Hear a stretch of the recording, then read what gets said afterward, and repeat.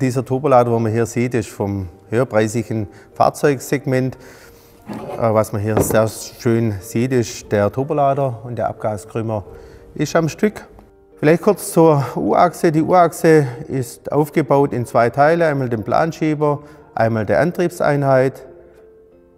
Die U-Achse ist ein voll, eine vollwertige NC-Achse in der Maschine, frei programmierbar. Wir haben zwei verschiedene Werkzeuge im Einsatz. Einmal für die V-Bandbearbeitung und einmal für die Lagersitzbearbeitung. So eine Schneidplatte hebt ca. 50 bis 60 Bauteile, sehr abrasives Material. Daher haben wir hier auch einen additiv gedruckten Kurzklemmhalter eingesetzt. Dieser hat speziell ausgeprägte Kühlkanäle, einmal oberhalb der Schneide, einmal unterhalb der Schneide.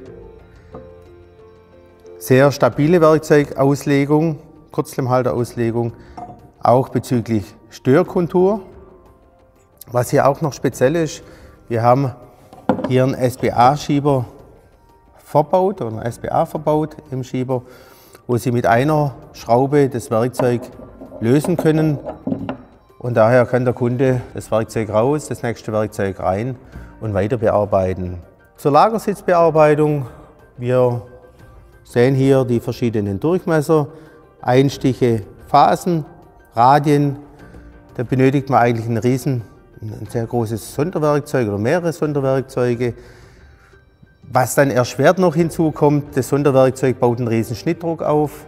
Das Bauteil fängt an zu vibrieren und die Toleranz wird dann nicht mehr gegeben. Und so kann ich mit so einer U-Achse, mit so einem, so einem Aussteuerwerkzeug die komplette Kontur in das Bauteil einbringen.